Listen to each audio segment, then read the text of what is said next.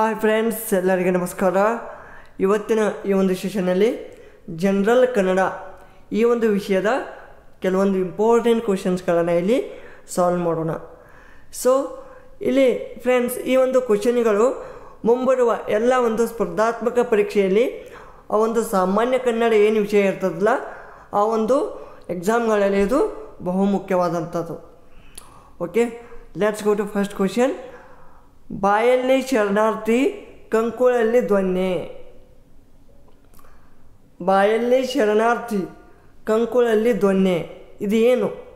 ಇದು ಏನು ಒಗಟ ಅಥವಾ ಗಾದೆನ ಅಥವಾ ಸುಭಾಷಿತನ ಅಥವಾ ನುಡಿಗಟ್ಟು? ಇದರಲ್ಲಿ ಏನಿದು? ಇದು ಇದು ಏನಪ್ಪ? ಗಾದೆ. ಬಾಯಲ್ಲಿ ಶರಣಾರ್ಥಿ, ಕಂಕುಳಲ್ಲಿ ಧ್ವನ್ನೆ ಇದು ಗಾದೆ ಮಾತು. ಓಕೆನಾ ನೆಕ್ಸ್ಟ್ ತುದಿ ನಾಲಿಗೆ ತುದಿ ನಾಲಿಗೆ ಇದು ಯಾವ ಸಮಾಸ ಅಂತ ಕೇಳಿದ್ದಾರೆ. ಇಲ್ಲಿ ಇಲ್ಲಿ ನೀವು ನೋಡ್ಬೋದು, ನಾಲಿಗೆ ಓಕೆನಾ ನಾಲಿಗೆ ನಾಲಿಗೆ ಇದೇನು? ತುದಿ. ಓಕೆನಾ ಸೊ ಇದೊಂದು ಈಗ ನ್ಯಾ, ಇದು ನಾಲಿಗೆ ಇದೆ ಅಂತ ತಿಳ್ಕೊಳ್ಳಿ. ಈ ನಾಲಿಗೆದು ತುದಿ ಅಂದರೆ ಈ ಪೂರ್ತಿ ಒಂದು ಪಾರ್ಟಿಂದು ಒಂದು ಅಂಶವನ್ನು ಎತ್ತಿ ತೋರಿಸ್ತಾ ಇದೆ. ಸೊ ಇದು ಅಂಶಿ ಸಮಾಸ. ಇದು ಅಂಕಿ ಅಲ್ಲ, ಅಂಶಿ. ಓಕೆನಾ ಟೈಪಿಂಗ್ ಮಿಸ್ಟೇಕ್ ಆಗಿರ್ಬೋದು. ಇದು ಅಂಶಿ ಸಮಾಸ. ಸೊ ಕರೆಕ್ಟ್ ಆನ್ಸರ್ ಅಂಶಿ ಸಮಾಸ. ಈಗ ಅಂಶಿ ಸಮಾಸಕ್ಕೆ ಇನ್ನೊಂದು ಉದಾಹರಣೆ ಅಂದರೆ ಮೇಲ್ಮನೆ, ಕೆಳಮನೆ. ಓಕೆನಾ ಅಥವಾ ಮುಂಗಾಲು, ಹಿಂಗಾಲು ಓಕೆನಾ ಈ ಥರ. ಅಥವಾ ನಡುರಾತ್ರಿ, ಮಧ್ಯರಾತ್ರಿ, ಈ ಥರ ತುಂಬ ಒಂದು ಎಕ್ಸಾಂಪಲ್ಗಳು ಎಕ್ಸಾಂಪಲ್ ನೀವು ನೋಡ್ಬೋದು. ಮಸಜ ಸತತ. ಈ ಗಣಗಳು ಬಂದರೆ ಆಗುವ ವೃತ್ತ. ಮಸಜ ಸತತ. ನಿಮ್ಗೆ ಗೊತ್ತಿರ್ಬೋದು, ಈ ಒಂದು ಛಂದಸ್ಗಳಲ್ಲಿ ಬರ್ತಾವೆ ಓಕೆನಾ ಸೊ ಈ ಒಂದು ಗಣಗಳು ಬಂದರೆ ಇದು ಶಾರ್ದೂಲ ವಿಕ್ರೀಡಿತ ವೃತ್ತ ಆಗುತ್ತೆ. ಶಾರ್ದೂಲ ವಿಕ್ರೀಡಿತ.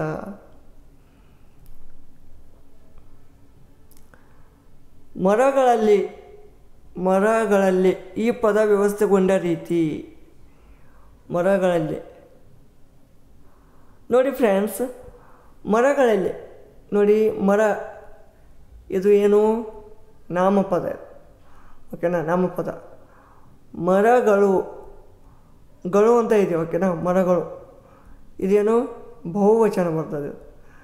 ಬಹುವಚ, ಗಳಲ್ಲಿ, ಅಲ್ಲಿ, ಇಲ್ಲಿ ವಿಭಕ್ತಿ ಪ್ರತ್ಯಯ ಬರುತ್ತೆ. ವಿಭಕ್ತಿ ಪ್ರತ್ಯಯ. ಸೊ ಇಲ್ಲಿ ಏನು ಬರ್ತದಪ್ಪ ಇದು? So correct answer option four option four is correct next Valmiki ರಾಮಾಯಣವನ್ನು ಬರೆದ. ಇಲ್ಲಿ ಬರೆದ ಎಂಬುದು ಏನೂ ಆಗಿದೆ. ನೋಡಿ, ವಾಲ್ಮೀಕಿ ರಾಮಾಯ, ರಾಮಾಯಣವನ್ನು ಬರೆದ. ಬರೆದ ಅನ್ನೋದು ಏನಿಲ್ಲ? ಕರ್ತೃಪದನ, ಕರ್ಮಪದನ ಅಥವಾ ಕ್ರಿಯಾಪದನ ಅಥವಾ ನಾಮಪದನ? ಓ ಅಫ್ಕೋರ್ಸ್ ಇದು ಕ್ರಿಯಾಪದ. ಮುಖಚಂದ್ರ ಎಂಬುದು ಇದಕ್ಕೆ ಉದಾಹರಣೆ. ಮುಖಚಂದ್ರ. ಚಂದ್ರನಂತ ಮುಖ, ಮುಖಚಂದ್ರ. ಈ ಥರ ಇದ್ದರೆ ಏನಪ್ಪ ಅಂದರೆ ರೂಪವನ್ನು ಎತ್ತಿ ತೋರಿಸ್ತೈತಿ ಇಲ್ಲಿ. ಓಕೆನಾ? ಅವನ ಮುಖ ಹೆಂಗೈತಿ? ಚಂದ್ರನಂತೆ. ಸೊ ಮುಖಚಂದ್ರ ಅವನ ಹೆಸರು. ಸೊ ಈ ಒಂದು ರೂಪವನ್ನು ಹೇಳುವುದು ಯಾವ ಅಲಂಕಾರ? ಇದು ರೂಪಕ್ಕಲಂಕಾರ. ಓಕೆನಾ?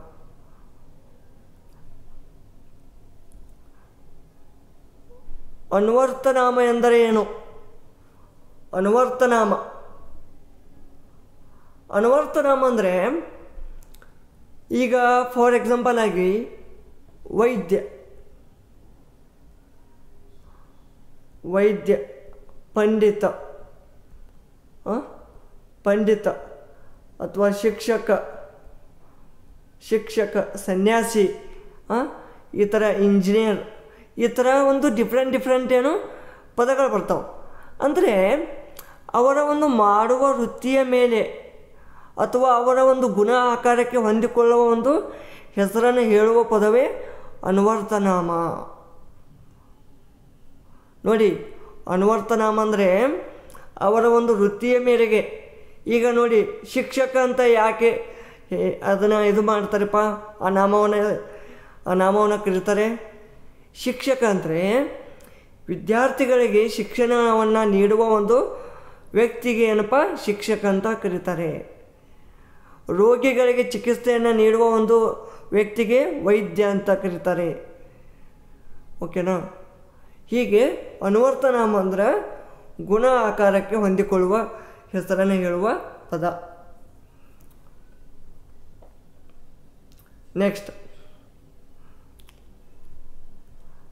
ಅಂಡರ್ಸ್ಟ್ಯಾಂಡಿಂಗ್ ಆಗ್ತಾ ಇದೆ ಅಂತ ಅನ್ಕೋತೀನಿ. ಬಂಡನ ಪದದ ಸಮಾನಾರ್ಥಕಗಳು. ಬಂಡನ ಬಂಡನ ಅಂದರೆ ಯುದ್ಧ, ಸಮರ, ಕಾಳಗ. ಆಪ್ಷನ್ ಫೋರ್ ಕರೆಕ್ಟ್ ಆಗುತ್ತೆ? ನೆಕ್ಸ್ಟ್ ನೆನಪಿನ ಹಕ್ಕಿಯ ಹಾರಲು ಬಿಟ್ಟು. ಇದು ಯಾರ ಕೃತಿ? ನೆನಪಿನ ಹಕ್ಕಿಯ ಹಾರಲು ಬಿಟ್ಟು. ಇದು ಮೂಡ್ನ ಕೂಡು ಚಿನ್ನಸ್ವಾಮಿ. ಮೂಡ್ನ ಕೂಡು ಚಿನ್ನಸ್ವಾಮಿ. ಹೆಣ್ಣ, ಹೆಣ್ಣಾಗಿ ಯಾರು ಹುಟ್ಟುವುದಿಲ್ಲ. ನಂತರ ರೂಪಿತವಾಗುತ್ತಾಳೆ ಅಷ್ಟೇ ಎಂದು ತನ್ನ ಒಂದು ಕೃತಿಯಲ್ಲಿ ಘೋಷಿಸಿದ ಆಕೆ. ನೋಡಿ ವೆರಿ ವೆರಿ ಇಂಪಾರ್ಟೆಂಟ್ ಕ್ವಶನ್ ಇದು. ಬಹಳಷ್ಟು ಸಲ ಕ್ವಶನ್ ಈ ಒಂದು ಕ್ವಶನನ್ನೇ ಕೇಳಿದ್ದಾರೆ. ಇದರ ಒಂದು ಕೃತಿಯ ಒಂದು, ಈ ಒಂದು ಕೃತಿಯಲ್ಲಿ ಘೋಷಿಸಿದ ಕ್ಯಾರಪ್ಪ Simone de Beauvoir. Simone de Beauvoir.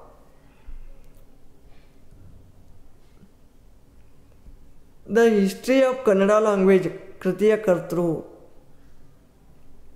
R Narasimhacharya.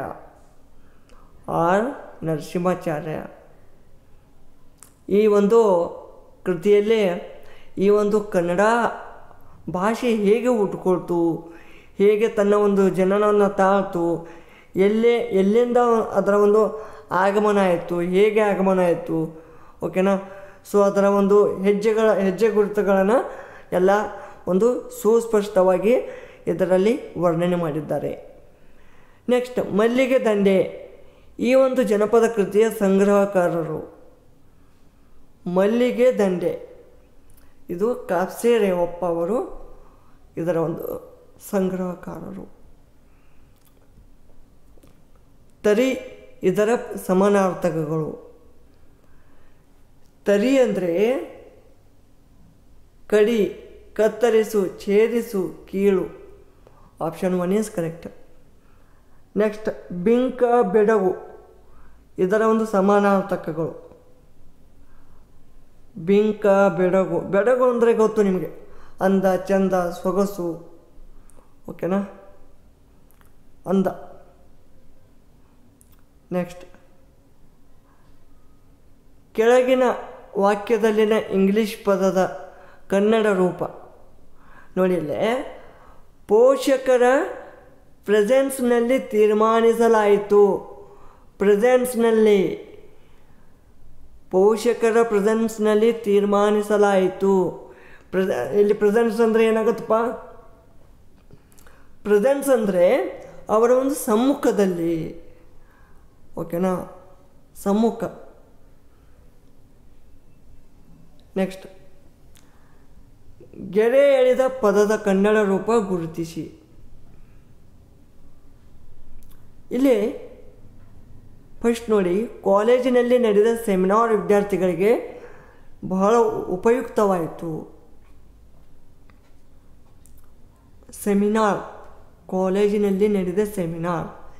Seminar ಅಂದರೆ ವಿಚಾರ ಸಂಕೀರ್ಣ. ಈ ವಿಚಾರ ಸಂಕೀರ್ಣದಿಂದ ವಿದ್ಯಾರ್ಥಿಗಳಿಗೆ ಬಹಳ ಉಪಯುಕ್ತವಾಯಿತು. ನೆಕ್ಸ್ಟ್ ತನಿಖೆ ಪದದ ಅರ್ಥ. ತನಿಖೆ ತನಿಖೆ ಅಂದರೆ ತಟ್ಟೆ. ಓಕೆನಾ ನೆಕ್ಸ್ಟ್ ಚಂಗೋಲಿ. ಚಂಗೋಲಿ ಅಂದರೆ ದಿನಗೂಲಿ ಕೆಲಸ. ಚಂಗೋಲಿ. ಓಕೆನಾ ಇನಜ ಅಂದರೆ? ಇನಜ. ಇನಜ. ನೋಡಿ, ಇನಜ ಅಂದರೆ ಕರ್ಣ. ಓಕೆನಾ ಇನಜ. ಇನಜ. ನೋಡಿ, ಇನಜ ಅಂದರೆ ಏನಪ್ಪ? ಇನ ಪ್ಲಸ್ ಅಜ. ಇನ ಅಂದರೆ ಏನು?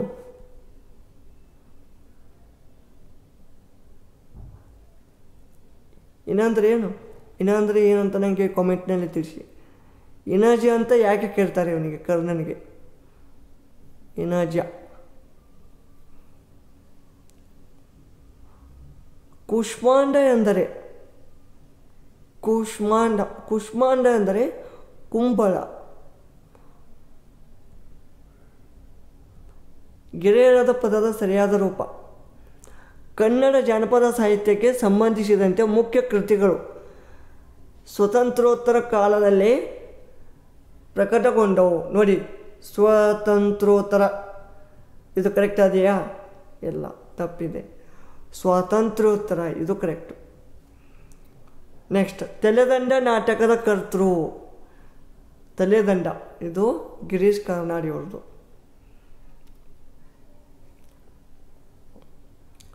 ದಾನ ಚಿಂತಾಮಣಿ ಎಂದು ಯಾರನ್ನು ಕರೆಯುತ್ತಿದ್ದರು ಅತ್ತಿಮಬ್ಬೆ, ದಾನ ಚಿಂತಾಮಣಿ.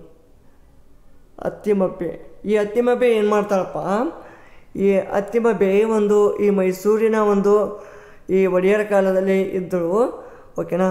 ಸೊ ಈ ಒಂದು ಅತ್ತಿಮಬ್ಬೆ ತನ್ನ ಒಂದು ಕೃತಿಗಳನ್ನು ಸ್ವಂತ ತಾನೇ ಕೈಯಲ್ಲಿ ಬರೆದು, ಆ ಒಂದು ಕೃತಿಗಳನ್ನು ಎಲ್ಲ ಒಂದು ಸಾರ್ವಜನಿಕರಿಗೆ, ಜನರಿಗೆ ಅದನ್ನು ಹಂಚುತ್ತಾಳೆ ಸೊ ಇದರಿಂದ ಅವರಿಗೆ ದಾನ ಚಿಂತಾಮಣಿ ಅಂತ ಹೆಸರು ಬಂದಿತ್ತು. ಒಂಟಿ ಕಾಲಿನ ಕೊಕ್ಕರೆ, ಒಂಬೈನೂರು ತತ್ತಿ ಇದು. ಒಂಟಿ ಕಾಲಿನ ಕೊಕ್ಕರೆ, ಒಂಬೈನೂರು ತತ್ತಿ.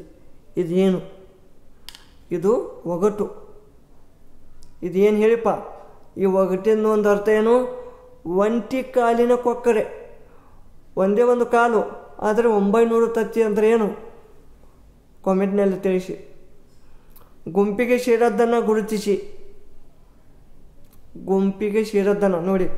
ಗರುಡ, ಬಾವಲಿ, ಗಿಳಿ, ಮಂಗಟ್ಟಿ. ಇಲ್ಲಿ ಬಾವಲಿ ಆಗುತ್ತೆ. ಯಾಕಂದರೆ ಇವೆಲ್ಲ ಪಕ್ಷಿಗಳಾಗ್ತಾವೆ. ಇದು ಸಸ್ತನಿ ಆಗುತ್ತೆ. ಓಕೆನಾ? ಮನೆ ಪಾಠ ಹೇಳುವುದರಿಂದ ಅಧ್ಯಾಪಕನ ಬೋಧನೆಯ ಗುಣಮಟ್ಟ ಕುಂಠಿತಗೊಳ್ಳುತ್ತವೆ. ನೋಡಿ, ಇಲ್ಲಿ ಏನು ಆಗತ್ತಪ್ಪ? ಏನಾದರೂ ತಪ್ಪಿದೆಯಾ? ಇಲ್ಲ, ತಪ್ಪಲ್ಲ. ಈ ಒಂದು ಇದರ ಅರ್ಥ ಏನಂತ ಅಲ್ಲ. ಜಸ್ಟ್ ಆ ಒಂದು ಸೆಂಟೆನ್ಸಲ್ಲಿ ಏನಾದರೂ ಮಿಸ್ಟೇಕ್ ಇದೆ ಅಂತ ನಾವು ಕಂಡುಹಿಡಿಬೇಕು.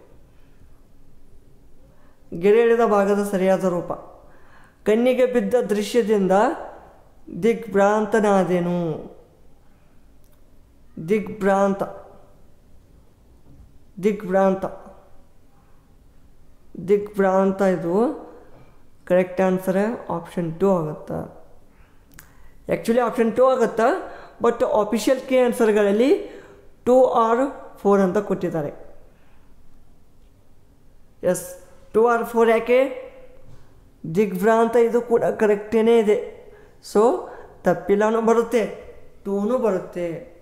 ಯಾಕೆಂದರೆ ಆ್ಯಕ್ಚುಲಿ ಇದು ಕರೆಕ್ಟಾಗಿ ಕೊಟ್ಟಿದ್ದಾರೆ ಬಟ್ ಇಲ್ಲಿ ಇದನ್ನು ಕೊಡುವ ಅವಶ್ಯಕತೆ ಇದ್ದಿದ್ದಿಲ್ಲ. So option two or four correct next ಕನ್ನಡವು ಯಾವ ಭಾಷಾ ವರ್ಗಕ್ಕೆ ಸೇರಿದೆ? ಇದು ದ್ರಾವಿಡ ಭಾಷಾ ವರ್ಗಕ್ಕೆ ಸೇರಿದೆ. ಸ್ಥಾನಪಲ್ಲಟವಾಗಿರುವ ಪದಗಳನ್ನು ಅರ್ಥಪೂರ್ಣ ವಾಕ್ಯವಾಗಿ ಜೋಡಿಸಿ.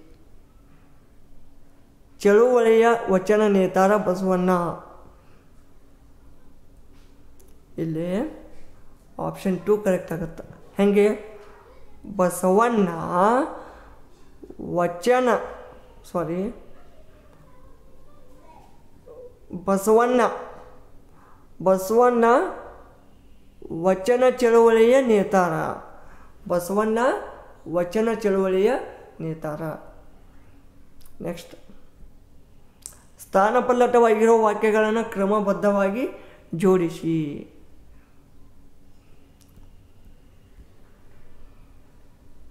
ಸೊ ಫ್ರೆಂಡ್ಸ್ ಇಲ್ಲಿ ಕರೆಕ್ಟಾದ ಆನ್ಸರ್ ಏನು ಬರ್ತಪ್ಪ ಅಂದ್ರೆ ಆಪ್ಷನ್ ನಂಬರ್ ತ್ರೀ ಕರೆಕ್ಟ್ ಬರುತ್ತೆ.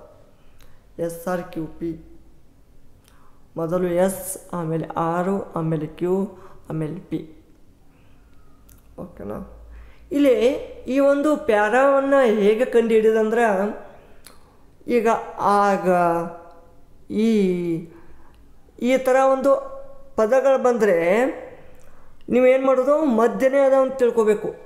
ಯಾಕೆಂದರೆ ಆಗ, ಈಗ, ಆಮೇಲೆ ಆ- ನಂತರ ಆದರೆ ಈ ಮತ್ತು ಇಲ್ಲವೇ ಹಾಗೂ ಈ ಥರ ಒಂದು ಈ ಜಾಯಿಂಟ್ ಕಂಜಕ್ಷನ್ ಒಂದು, ಈ ಒಂದು ಸಂಬಂಧವನ್ನು ಸೂಚಿಸುವ ಶಬ್ದಗಳು ಬಂದ್ರೆ ಅವು ಸ್ಟಾರ್ಟ್ ಸ್ಟಾರ್ಟಿಂಗ್ ಆಗಲ್ಲ.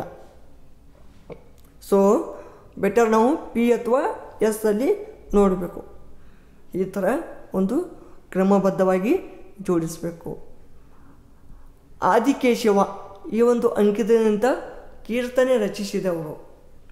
ಆದಿಕೇಶವ, ಕನಕದಾಸರು. ಆದಿಕೇಶವ, ಕಾಗಿನೆಲೆ ಆದಿಕೇಶವ.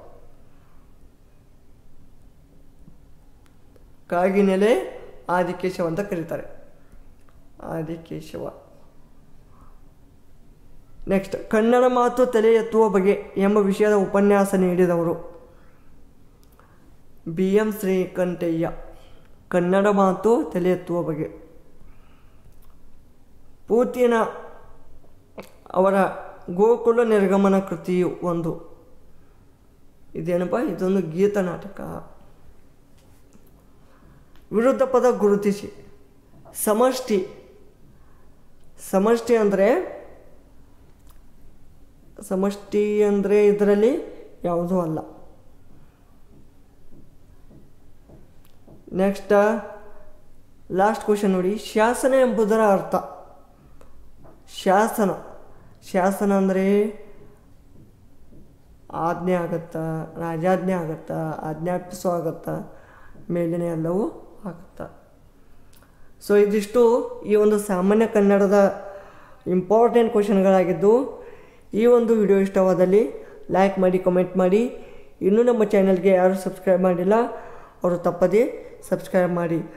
ನೋಡಿ ಫ್ರೆಂಡ್ಸ್ ಈ ಜಿ ಕೆ ಆಗಲಿ, ಕನ್ನಡ ಕಂಪ್ಯೂಟರ್ ನಾಲೆಜು ಇಂಗ್ಲೀಷು ಮತ್ತು ಕೆ ಪಿ ಎಸ್ ಯು ಎಲ್ಲ old question paper land surveyor question paper P D U village accountant ಅಂತು ಈ ಥರ ಒಂದು ಎಲ್ಲ ಕ್ವಶನ್ ಪೇಪರ್ಗಳನ್ನು ನಮ್ಮ ಈ ಒಂದು ಜ್ಞಾನಬೋಧಿ ಯೂಟ್ಯೂಬ್ ಚಾನಲಲ್ಲಿ ಅವೈಲಬಲ್ ಇದ್ದಾವೆ.